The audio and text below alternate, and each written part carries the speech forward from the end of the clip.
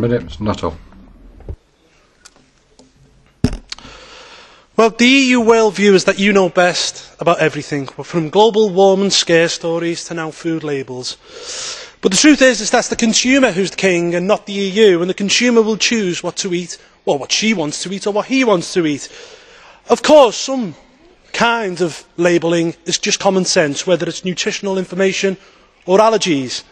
But much of this report, I suggest, is nannying to the excess.